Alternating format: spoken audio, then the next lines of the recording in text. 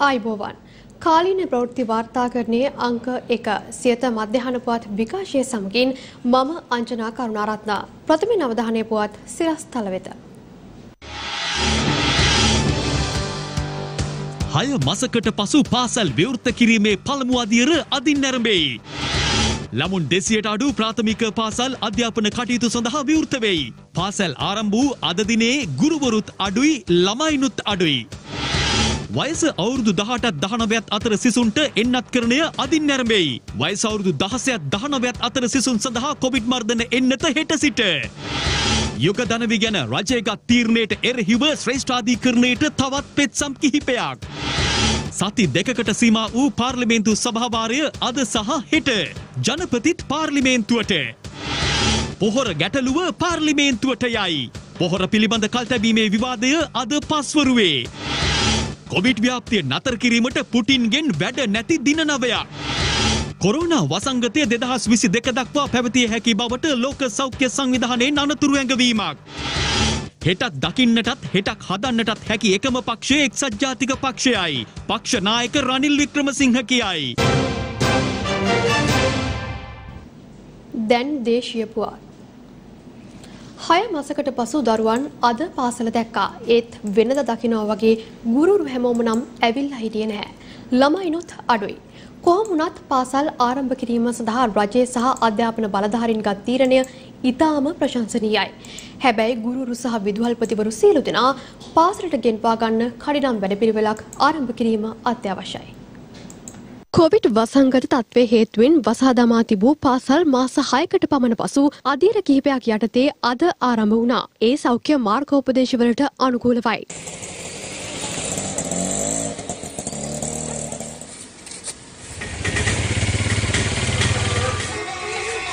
පවතින වසංගත තත්ත්වය හමුවේ අවස්ථා කිහිපයකදී පාසල් වසා දැමීමට සිදු වූ අතර පසුගිය අප්‍රේල් මස 23 වනදායින් පසුවයි අද දින පාසල් විවෘත වුණේ.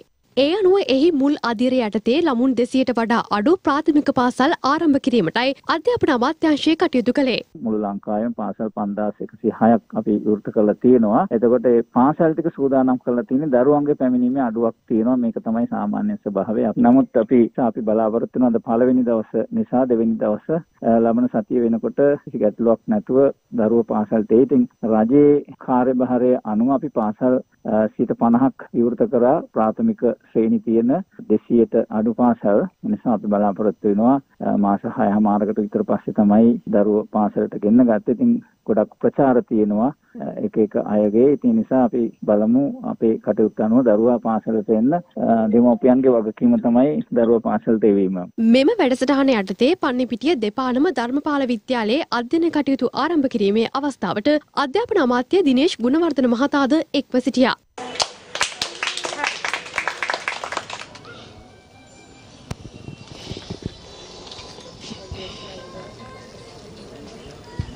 රටපුරා තත්ත්වය ඉතාම හොඳයි ඉතාම විශාල සභාගිත්වයකින් ප්‍රාථමික පාසල් රටපුරා විවෘත වෙලා තියෙනවා. ඒ නිසා අභ්‍යාසලාබීන් කොහොමත් පාසල්වලට අනියුක්ත ප්‍රමාණයක් ඉන්නවා ඒගොල්ලන් එසේම ඉන්නවා. තම අභ්‍යාසලාබීන් පාසල්ලට අනියුක්ත නැහැ. විවිධ දෙපාර්තමේන්තුවලත් ඉන්නවා. විදුහල්පතිවරු සහ ගුරුවරුන්ගේ ශාභාගිත්වය දැන් පාසල් කීපයකට මං ගිය. ඉතාම උනන්දුවෙන් තමන්ගේ දරුවන්ගේ අධ්‍යාපනය ඉදිරියට ගෙන යන්න දෙමව්පියන් ඉස්සරහට අඩිය තියලා මේ ගෙන යන වැරදි ප්‍රචාර පැත්තකට තල්ලු කරලා සහභාගී වෙලා තියෙනවා. අද දින පාසල් විවෘත වුවද සිසුන්ගේ පැමිණීමේ අඩුවක් දක්නට ලැබුණු බවයි අප වාර්තාකරුවන් ප්‍රකාශ කළේ.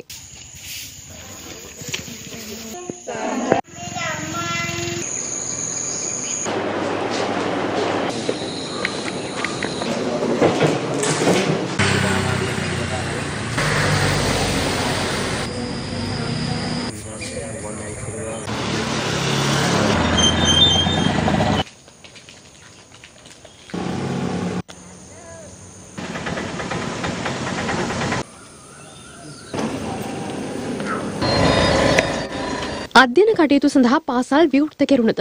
ගුරු විදුහල්පති වෘත්තීය සමිති ආරම්භ කර ඇති වැඩවර්ජනය හේතුවෙන් පාසල් රැසක ගුරුරුන්ගේ පැමිණීම ඉතා අසතුටුදායක තත්ත්වයකයි පැවතුනේ.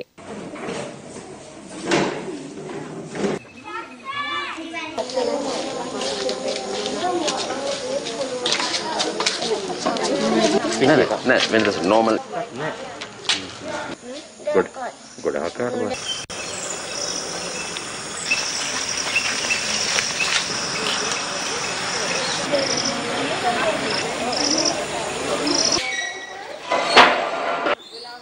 ඉස්කෝලේ පටන් ගත්ත එක අපිට ගොඩාක් හොඳයි මොකද අපේ ළමයි ආසාවෙන් හිටියා ඉස්කෝලේ එන්න ඉස්කෝලේ පටන් ගත්ත දිනේ මේ දැනුම් දීපු දවසේ ඉඳන් හරි කැමැත්තෙන් හිටියේ ළමයි සාමාන්‍ය 20 25 විතර දැනට ඉන්න හැම පන්තියම නියෝජනය වෙන ළමයි ඉන්නවා අවුරුදු දෙකමාරක් විතර ළමයි ගෙවල් වල තියාගන්න ළමයිගේ අධ්‍යාපනය හොඳටම කඩාකප්පල් වෙලා තියෙන්නේ. ඉතින් ගුරුවරු මේ අවස්ථාවේදී මේ ගන්න තීරණය අපි දැඩිව හෙලා දකිනවා. ගුරුවරුන්ගේ සසරණ වැටුපක් නොලැබුණාට මේ අවස්ථාවේදී ගුරුවරු විද්‍යාලයට පැමිණීම ඉතාම අගය කරනවා. මේ අතර ගුරු සංගම් විසින් ආරම්භ කර ඇති වෘත්තීය ක්‍රියාමාර්ගය සාර්ථක බවයි ලංකා ගුරු සංගමේ ලේකම් ජෝසප් ස්ටාලින් මහතා සියතට ප්‍රකාශ කළේ. මේ වැඩ වර්ජනයේ 98කට වැඩි ප්‍රමාණයක් සාර්ථක වෙලා තියෙනවා. පැහැදිලිවම අපි මේ අර රාජ්‍යයට දෙන පණිවිඩය තමයි පිට ගුරුසා විද්‍යාලවලගේ වැටු ක්ෂමතා ඉවත් කිරීමට ආණ්ඩුව ඉදිරිපත් කරපු වැටු යෝජනාව සමස්තම එකවර ලබා දෙන්න ඕනේ. ඒ වගේම සුබෝධිනී කමිටුවේ කොටසක් ඇතුළත දෙන්න ඕනේ කියන එක තමයි ප්‍රධාන ඉල්ලීම. ලංකාවේ මේ වර්ගයේ සාර්ථක වෙලා තියෙනවා. ආණ්ඩුවට කදිම පිළිතුරක් දීලා තියෙන ඒ වගේම දෙමව්පියෝ ළමයි පාසලට එවලා නැහැ. ආණ්ඩුව කො ඒගොල්ලෝ ගැන විශ්වාසය ළමයි එවන්න කියලා. දෙමව්පියෝ ළමයි එවලා තියෙන ප්‍රේරණය ආණ්ඩුව පිළිබඳ විශ්වාසය සම්පූර්ණ දෙමව්පියෝ අතහැරලා තියෙන උන් ගුරුවරුන් කවුරුද ගැන විශ්වාසය කියලා තියෙන ඒක නිසා අපි අපේ අරගල කරට යන එට දිනෙත් අපේ වර්ජනය යනවා කියලා තමයි කියන්න ඕනේ. මෙතෙන්දි මං බොහොම කරුණාවෙන් මතක් කරන්නේ අද පැමිණිච්ච ගුරු දෙවිවරු මේ දරුවන්ගේ අනාගත අභිවෘද්ධිය බලලා පැමිණිලා අද අධ්‍යාපන කටයුතු ආරම්භ කිරීම පිළිබඳව ඔබට ජාතිය ප්‍රණාමය හිමිනවා. මම මේ ආණ්ඩුවකට සුදුහුණු ගානුවක් කඩේ යනවත් නෙමෙයි. මම හැම වෙලේම කඩේ යන්නේ ජනතාව වෙනුවෙන් මෙවර කඩේ ගියේ මේ දරුවෝ වෙනුවෙන්. අපි දරුවන්ට අම්මව්පියවරුන්ටත් කියනවා බයක් සැකක් නැතුව ඔබේ දරුවෝ ටික යවන්න මේ ආණ්ඩුවට වැඩ කරන නැත්තන්ට වඩා පුරෝහිතයෝ කේවට්ටියෝ වැඩි. ඒ පුරෝහිතයෝ කේවට්ටියෝ වැඩි නිසා තමයි අපේ ගෝඨාභය මෙතුමාට අද මේ තත්ත්වය උදාහරණ තිබෙන්නේ. නීතිය යන කතා කරන ආය සංග්‍රහය ගැන කතා කරන්න අපි විරුද්ධයක් නැහැ. අනවශ්‍ය විදියට කවුරු හරි මේ ගුරු මව්වරුන්ගේ පියවරුන්ගේ හිත් රිදෙන්න කතා කරනවා නම් අපි ඒක අනුමත කරන්නේ නැහැ. රජයටත් කියනවා අධ්‍යාපන අමාත්‍යන්තරත් කියනවා එවැනි මිනිස්සුන්ගෙන් ගුරුවරු ආරක්ෂා කරන්න කියන එක. මේ අතර සෞඛ්‍ය උපදෙස් වලට අනුකූලව දිවයිනේ පෙර පාසල්ද අද විවෘත කෙරුණා.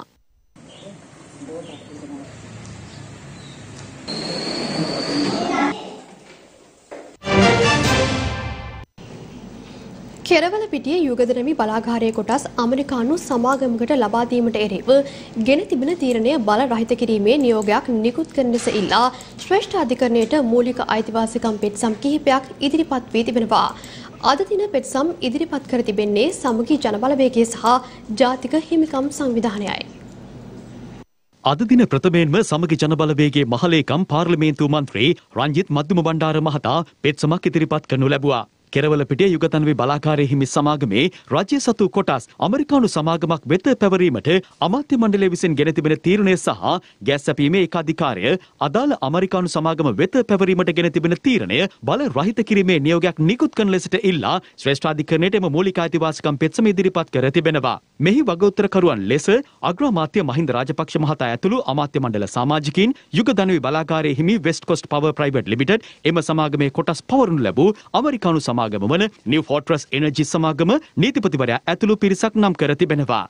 පෙත්සම්කරුවන් කියා සිටින්නේ කෙරවල පිටිය යුගතනවි බලාගාරයේ අයත් සමාගමේ ශ්‍රී ලංකා රජයට අයත් කොටස් වලින් සිට 40ක් වගඋත්තරකාර ඇමරිකානු සමාගම වෙත පැවරීමට අමාත්‍ය මණ්ඩලයේ ගනු ලැබූ තීරණය යුක්ති සහගත නොවන බවයි. මෙම තීරණය ගැනීමට පෙර ජාතික ආර්ථිකය හා ජාතික ආරක්ෂාව වැනි කරුණු කෙරෙහි අවධානය යොමු කිරීමට වග උත්තරකාර අමාත්‍ය මණ්ඩලය අසමත් වී ඇති බවටද ඔවුන් චෝදනා කරනවා. එමෙන්ම අදාළ කොටස් පැවරීමේ ක්‍රියාවලිය හරහා මෙරට ගෑස් නිෂ්පාදනයේ ඒකාධිකාරය වග උත්තරකාර ඇමරිකානු සමාගම වෙත පවරා තිබෙන බව පෙන්වා දෙන පෙත්සම්කරුවන් මෙම කොටස් පැවරීමේදී විධිමත් ටෙන්ඩර් පටිපාටිය අනුගමනය කර නොමැති බවද සඳහන් කරනවා. මේ හරහා අදාළ කොටස් පැවරීමේ ක්‍රියාවලිය තුළ පවතින පාරදෘශ්‍ය භාවය පිළිබඳ බරපතල ගැටලු මතුව තිබෙන බවයි පෙත්සම්කරු පෙන්වා දෙන්නේ. එබැවින් අමාත්‍ය මණ්ඩලය විසින් කිසිදු සාධාරණ කරුණු අධ්‍යයනයකින් තොරව අදාළ කොටස් පැවරීමට ගනු ලැබූ තීරණය තුළින් රටේ මහජනතාවගේ මූලික අයිතීන් උල්ලංඝනය වන බවට බවට තීන්දුවක් ලබා දෙන ලෙස පෙත්සම්කරු ශ්‍රේෂ්ඨාධිකරණයෙන් ඉල්ලා සිටිනවා. එමෙන්ම යුගතනවි බලාගාරයේ සතු රජයේ කොටස් පැවරීමට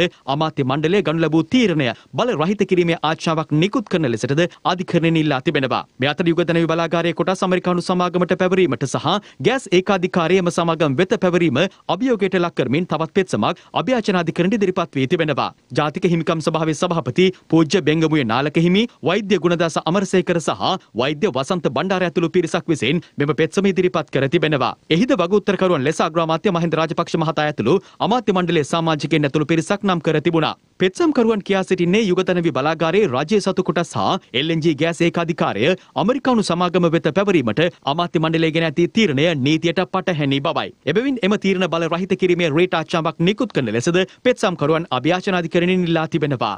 මේට අමතරව ශ්‍රේෂ්ඨාධිකරණයට තවත් මූලික අයිතිවාසිකම් පෙත්සමක් මේ සම්බන්ධයෙන් යොමු වුණේ පසුගිය 18 වනදායි. කාදිනල් මැල්කම් රංජිත් හිමිපාණන් සහ පූජ්‍ය ඇල්ලේ ගුණවංශ හිමියන් එම පෙත්සම් ඉදිරිපත් කර තිබුණා. කෙරවල පිටිය යුගතනවි බලාගාරයේ හිමි සමාගමේ රජය සතු කොටස් ඇමරිකානු සමාගමක් වෙත පැවරීමට අමාත්‍ය මණ්ඩලය විසින් ගෙන තිබෙන තීරණය බල රහිත කිරීමේ නියෝගයක් නිකුත් කරන ලෙසට ඉල්ලා ශ්‍රේෂ්ඨාධිකරණයට එම මූලික අයිතිවාසිකම් පෙත්සමද ඉදිරිපත් කර තිබුණා. ඒ තුළද අග්‍රාමාත්‍යවරයා අමාත්‍ය මණ්ඩලය ඇතුළු පනස් හතර දෙනෙකු වග උත්තරකරුවන් ලෙස පෙත්සම්කරුවන් නම් කර තිබෙනවා. මෙම සතියේ දින දෙකකට සීමා වූ පාර්ලිමේන්තු සැසිවාරය අද සහ හෙට පැවැත්වෙනවා. පාර්ලිමේන්තුව ආරම්භයේදීම පොහොර ගැටලුව සහ ඉහළ ගිය සහල් මිල ගැන විපක්ෂ නායකවරයා ප්‍රශ්න කර සිටියා. මේ අතර පාර්ලිමේන්තුව ආරම්භ වී ටික වේලාවකට පසු ජනාධිපති ගෝඨාභය රාජපක්ෂ මහතාද පාර්ලිමේන්තු සභා වාරයට එක් වුණා.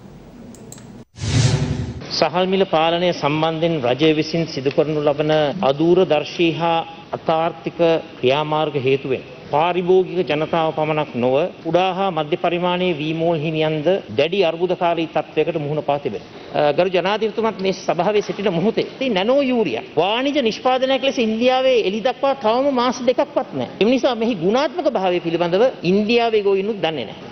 රසායනික පොහොර නොමැතිවීම නිසා ඉදිරි කන්නේ වී අස්වැන්න කොපමණ ප්‍රමාණයකින් අඩු වේදයි ඇස්තමෙන්තු කර තිබේද. එසේ අස්වැන්න අඩුවීම හේතුවෙන් ගොවීන්ට මෙන්ම බිඳ වැටෙන වී සහ කර්මාන්තකරුවන්ට සිදුවන අලාභය පියවීම රජය විසින් ගනු ලබන ක්‍රියාමාර්ග කවරේ. මේ වන්දිය ලබා දෙන්නට ක්‍රමවේදයක් සකස් කරලා තිබෙනවද? හදිසි නීතිය පනත යටතේ මේ ක්‍රියාමාර්ග ගත්තේ නැත්නම් අද තිබෙනවටත් වඩා වැඩි මිලකට තමයි පාරිභෝගිකයන්ට මේ සහල් සහ වී සීනි පරිභෝජනය කරන්න සිද්ධ වෙන්නේ. වෙළඳපොළ තුල යම්කිසි ආකාරයක සහල් මිල යම්කිසි ආකාරයක වැඩිවීමක් තිබෙන බව අපි පිළිගන්නවා. ඒ සඳහා දේශීය නිෂ්පාදකයාට ගොවියාට හානියක් නොවන පරිදි පාරිභෝගිකයත් ආරක්ෂා කිරීම වෙනුවෙන් රජය ගත හැකි උපරිම ක්‍රියාමාර්ග ලබා ගැනීමට කටයුතු කරනවා කියන එකත් විශේෂයෙන්ම සඳහන් කරන්න ඕනේ. මේක තමයි ලෝකේ අලුත්ම තාක්ෂණය කරු විපක්ෂ ਨਾයකතුමා. ඉතින් මේක අනිත් යුවට වැඩිය යූරියා මිටියකින් කරන එක මේක ලීටර් භාගයකින් කරන්න පුළුවන් අපිට. අපි මේ 30 වෙනිදා වෙනකොට පොහොර සියල්ල ගේනවා. ගොවියා ඉල්ලුවේ පොහොර ටික. රජයක් හැටියට අපි මේ ගන්න පොහොර පිළිබඳ වගකීම ගත්තා. වෙලාවට පොහොර ටික දෙනවා. ඒ ගෙනාපු පොහොර පිළිබඳ වගකීම ගන්නවා. ඒ නිෂ්පාදනය යම් අඩුවක් වුණොත් ඒ පිළිබඳ ගොවියට සාධාරණයක් කරනවා කියන එක අපි කරා. කෘෂි රක්ෂණ මණ්ඩලයත් ගොවි ජන සේවා දෙපාර්තමේන්තුවත් කමිටුවක් හදලා ඒ පිළිබඳ අපි අධීක්ෂණය කරනවා. නිෂ්පාදනයේ අඩුවක් රටේ ආහාර හිඟයක් ඇති වෙන්නේ නැහැ. ගිය අවුරුද්දෙත් මිලියන 1.1ක් අතිරික්තයි අපිට හාල්. ඒක වෙළඳ පොලේ තියෙනවා. ඒ නිසා අනියත බියක් ඇති කරගන්න ඕනේ නැහැ. මේකේ යම් නිෂ්පාදනයේ 5ක 10ක අඩුවක් සිදු වුවහත් වෙන්නේ නැහැ. අපි මේ පොහොර ටික දුන්නොත් ඒ නිෂ්පාදනයේ අඩුවක් වෙන්නේ නැහැ. එහෙම වුණත් රජය ගොවියට අසාධාරණයක් කරන්න නැහැ කියන විපක්ෂ නායකතුමා වගකීම අපි කියනවා. ඔව් මම දැක්ක ඔබතුමා කුඹුරු වලට ගිහිල්ලා කුඩේ තියද්දි තෙබෙනවා. ඊට පස්සේ හෙම්බිරිසාව හැදිලා එන්නත් බැරි වුණා. එහෙම හොඳයි. ඔබතුමා වෙලට බහින්න ඕනේ. මඩ ගා ගන්න ඕනේ. ඔබතුමන්ලා පිටරටින් සහල් ආනයනය කරා. ඒ සහල් නිෂ්පාදන ක්‍රියාවලියත් පිටරට සිද වුණේ පරිසර හිතකාමී සෞඛ්‍ය සම්පන්න කාබනික පොහොර භාවිතයෙන්ද අතිකරු ජනාධිපතිතුමා කැමති වුණේ නැහැ මේ හාල් ආනයනය කරන්න. මම බැනුනුත් ඇහුවා. මම ගොවියාට ඉල්ලීමක් කරා මේ හාල් ගේන්න සුමාන දෙකකට කලින් ප්‍රෙස් එකක් තියලා. ගොවියා වී විකුණුවේ නැහැ. ගොවියා වී ටික තියාගත්තා. තමුන් ආන්සලා පාරට බෑලා බක්කිවල හාල් නැහැ කිව්වා. ඒකට මිනිස්සුන්ට කණ්ඩ දෙන්න දෙයක් නැත්නම් අපිට ආනයනය කරන්න තු කරන්න දෙයක් නැහැ. අපි හාල් ගෙනන එකේ වැඩක් නැහැ. රටේ හාල් තියෙනවා. කරන්න දෙයක් නැහැ. තමුන් ආන්සලාට දෙයියන්ගේ හාල් කැවිලා තියෙන හින්දා අපිට ගේන්න සිද්ධ වුණා. හෙටක් දකින්නටත් හෙටක් හදන්නටත් හැකි එකම පක්ෂය එක්සත් ජාතික පක්ෂය බව එම පක්ෂයේ නායක පාර්ලිමේන්තු මන්ත්‍රී රනිල් වික්‍රමසිංහ මහතා පවසනවා. ඒ සිරිකොත පක්ෂ මූලස්ථානයේදී පැවති නව ඩිජිටල් මෙවලමක් හඳුන්වා දීමේ අවස්ථාවට එක්වෙමින්. හෙට හදන හෙට දකින අපි ඉන්නේ එක්සත් ජාතික පක්ෂයේ පමණයි කියලා මම කියන්න කැමතියි. සමහරවිට අපි හෙට දැක්කට අනික් කෑටට දැක්කේ නැහැ. පාසල් ශිෂ්‍යයන්ට ටැබ් දෙන්න කියනකොට එළියෙන් උයි ඇතුලෙන් උයි දෙකම විරුද්ධ වුණා. දැන් අධ්‍යාපනයේ වඳ වෙලා තියෙනවා. ඒ ටැබ් දුන්නා නම් මේ කඩාවැටීම සිදු වෙන්නේ නැහැ. අපි මේ ප්‍රතිපත්තිය කිව්වා. ඒ ජනතාව එක පිළිගත්තේ නැහැ. අපේ සම්පූර්ණ පරාජයකට වැටුණ එක മന്ത്രിවරේ. ඒත් අද ඔප් වෙලා තියෙනවා අපි හෙට දැක්කා.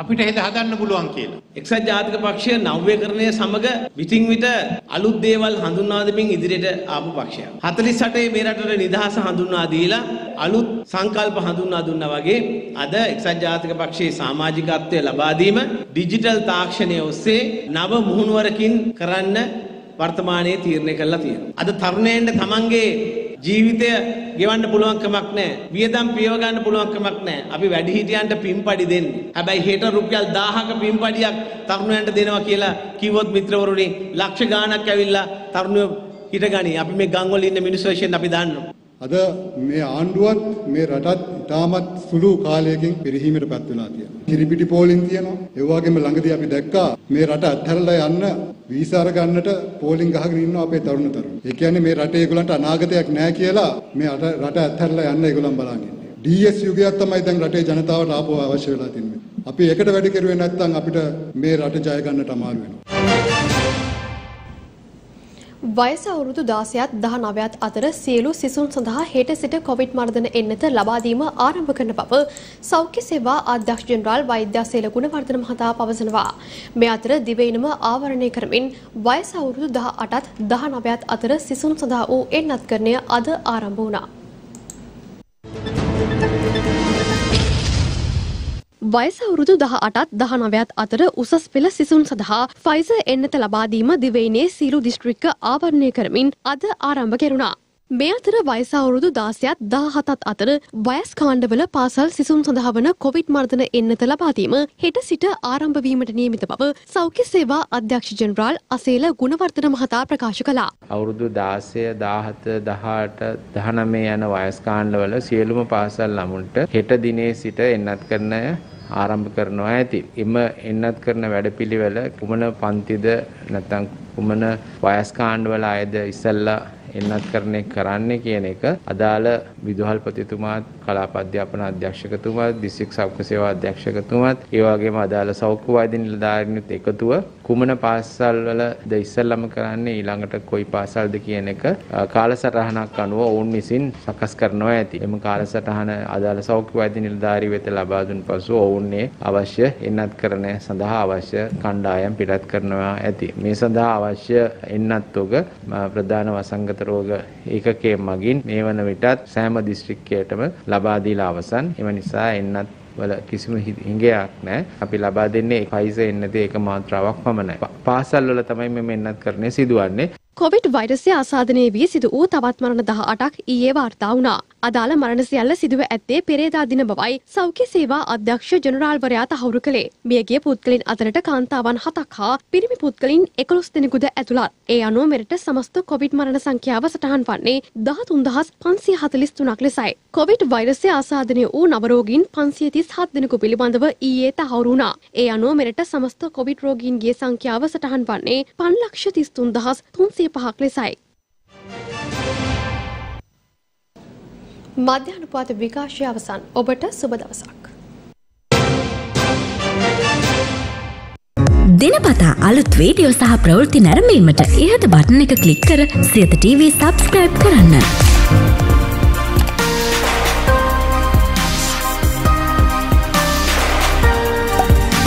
වීඩියෝ ගැන මුලින්ම දැනගන්න මෙම සීනුව ක්ලික් කරන්න.